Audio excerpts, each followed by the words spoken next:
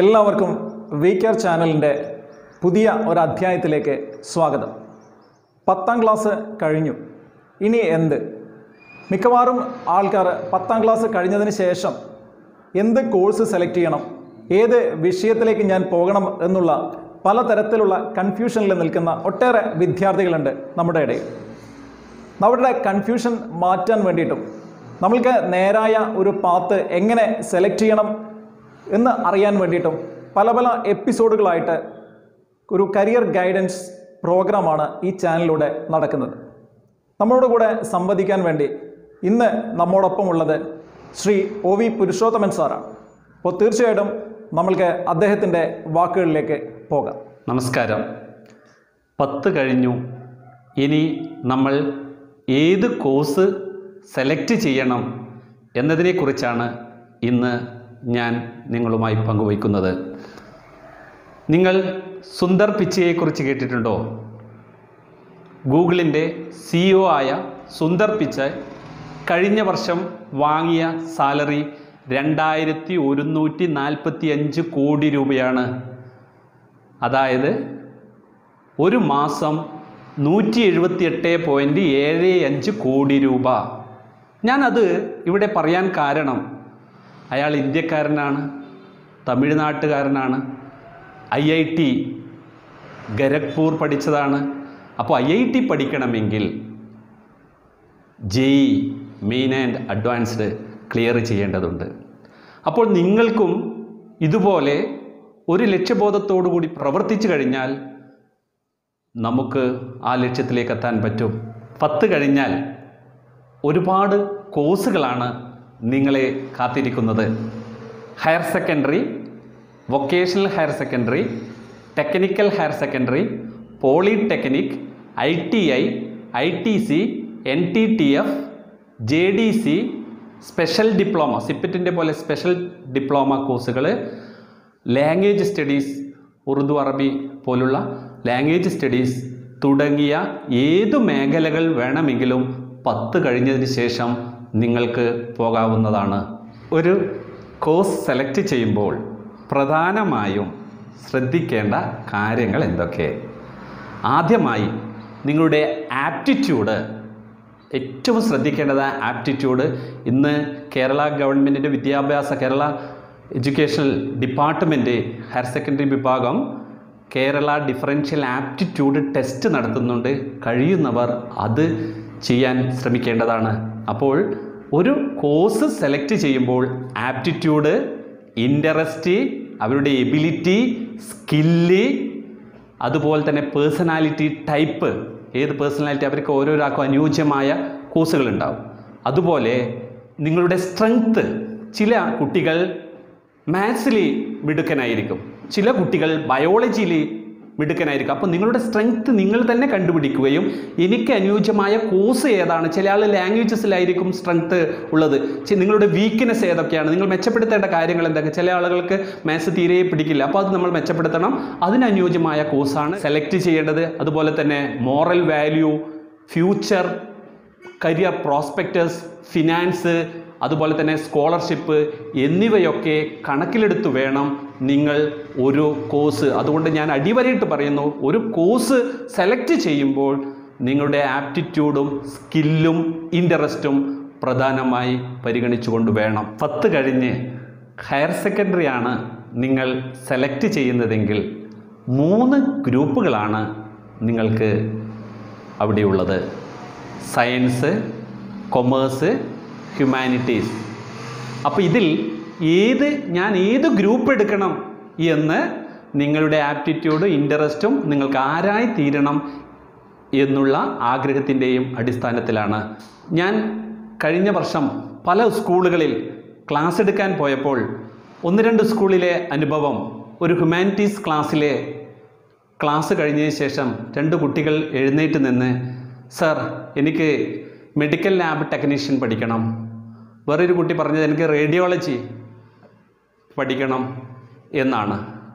അപ്പോൾ അവർക്ക് ഞാൻ പറഞ്ഞ അവരുടെ ഡിപ്ലോമ കോഴ്സ് പഠിക്കണമെങ്കിലും അല്ലെ B S C M L T perfusion technology അതുപോലെയുള്ള കോഴ്സുകൾ പാരാമെഡിക്കൽ കോഴ്സ് പഠിക്കണമെങ്കിൽ പ്ലസ് ടുവിൽ സയൻസ് എടുത്തിരിക്കണം.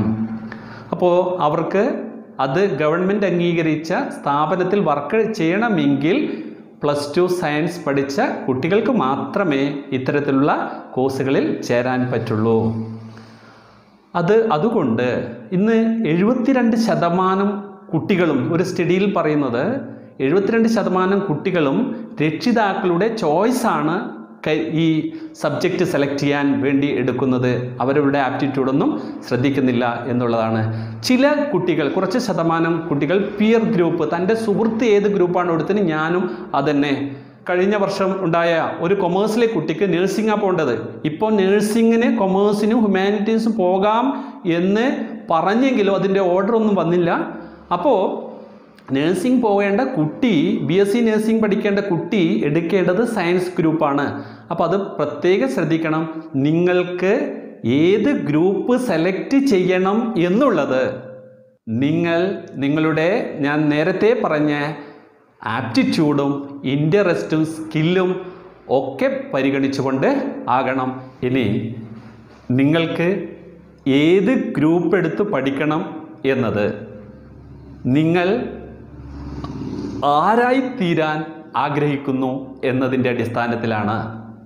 അപ്പോൾ എനിക്ക് development studies economics sociology archaeology librarian performing arts fine arts interior design fashion design animation എന്നീ മേഖലകളിലൊക്കെയാണ് നിങ്ങൾ വർക്ക് ചെയ്യാൻ ആഗ്രഹിക്കുന്നത് എങ്കിൽ നിങ്ങൾ ഹ്യൂമാനിറ്റീസ് കോമ്പിനേഷൻ ഹ്യൂമാനിറ്റീസിന് ഒരുപാട് കോമ്പിനേഷൻ പത്ത് മുപ്പത്തി മൂന്നോളം കോമ്പിനേഷൻസ് ഉണ്ട്.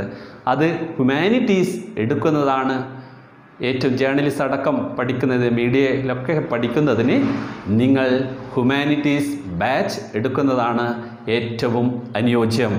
Accounting auditing corporate finance project evaluation taxation corporate governance management consultancy ലൊക്കെ വർക്ക് ചെയ്യണമെങ്കിൽ നിങ്ങൾ അതായത് സി എ പോലുള്ള കോഴ്സ് അക്കൗണ്ട് കൊമേഴ്സ് തിരഞ്ഞെടുക്കുന്നതാണ് ഏറ്റവും അനുയോജ്യം. സി എം എ അതുപോലെ C S management tax assistant logistic മേഖലകളിൽ ഡിവിഷണൽ അക്കൗണ്ടന്റ് ഒക്കെ ആയി വർക്ക് ചെയ്യാൻ നിങ്ങൾ ആഗ്രഹിക്കുന്നു. എങ്കിൽ നിങ്ങൾക്ക് ഏറ്റവും അനുയോജ്യം കൊമേഴ്സ് ഗ്രൂപ്പ് എടുക്കുന്നതാണ്.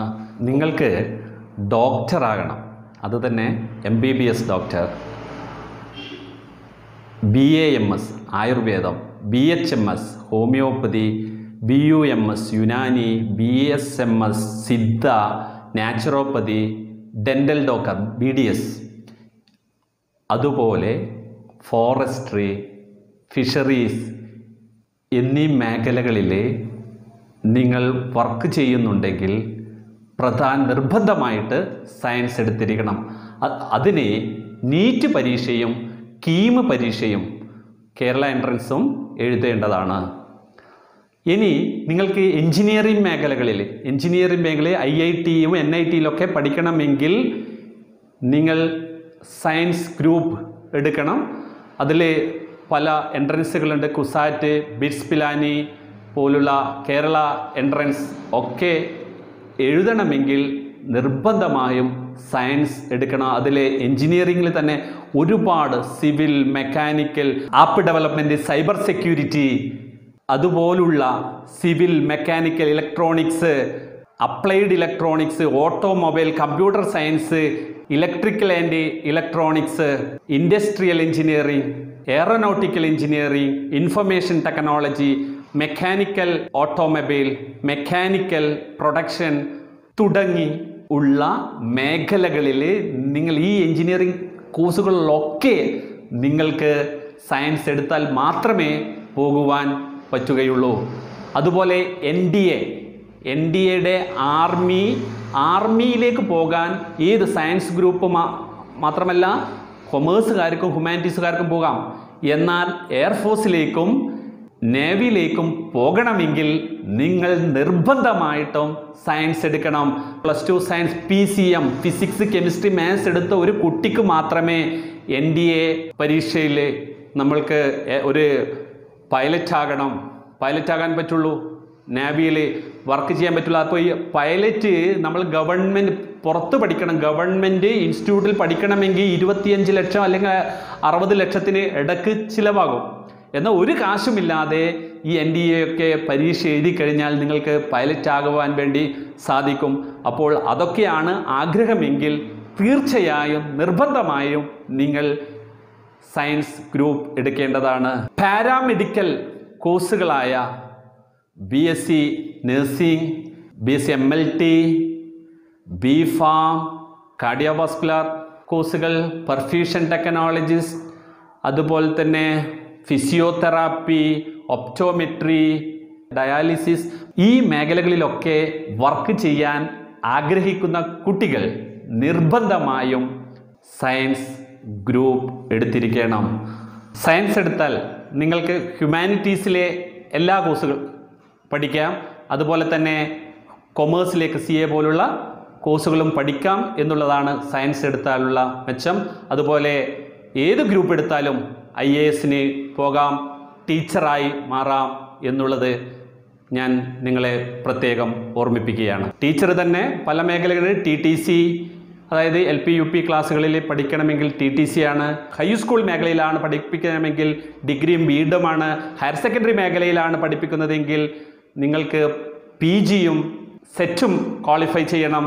ഇനി കോളേജ് ലെക്ചർ ആകണമെങ്കിൽ നിങ്ങൾ പി ജിയും നെറ്റും ക്വാളിഫൈ ചെയ്യണം. നിങ്ങൾ ഏത് ഗ്രൂപ്പ് എടുക്കണമോ നിങ്ങളുടെ ലക്ഷ്യബോധമാണ് സ്പോർട്സ് മേഖലകളിലേക്ക് നിങ്ങൾക്ക് തിരിയാം. അപ്പോൾ ഒരു കഥ കൂടി പറഞ്ഞ് ഞാൻ നിർത്തുകയാണ്.